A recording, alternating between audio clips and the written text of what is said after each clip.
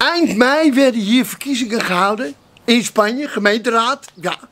En die werden ineens van de wereldstuit. Je kan ze vergelijken met onze provinciale verkiezingen natuurlijk. Werden gewonnen door een Partido Popular, dus een of andere rechtse, middenrechtse partij. Te vergelijken met de BBB. En die, die wonnen enorm. Enorme winst.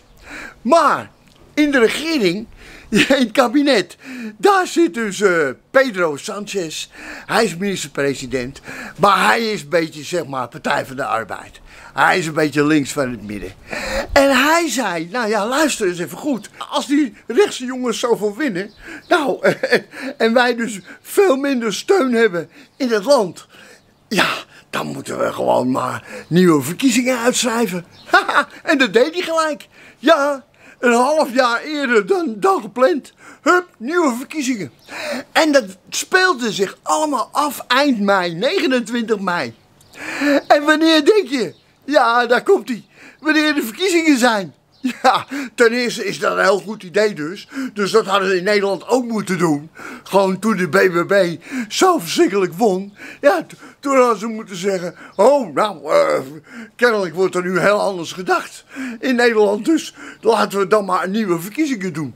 Dat had een uitstekend idee geweest. Maar, daar komt hij. Dus ik zei al, eind mei speelde het zich af. en wanneer zijn de nieuwe verkiezingen? Volgende week. Nu. Twee maanden later. Geen getreuzel. Gewoon aanpakken die handel. En, de, en in Nederland, wanneer komen onze verkiezingen? 22 november, vrienden. God, dan kan ik wel overleden zijn al intussen. Oh, hoe ver weg is dat? Dit is niet te geloven. Een kabinet kan bijna niet eens meer aftreden. Want ze kunnen het niet voor elkaar krijgen om nieuwe verkiezingen te organiseren met een beetje tempo. Dat Nederland is ook zo. is echt een slecht georganiseerd land. Dat zagen we met corona. Toen liepen ze ook, moesten wat injecties uitdelen. Toen, toen waren wij het laatste land van Europa. En, en, en, met dit voorbeeld zie je het weer.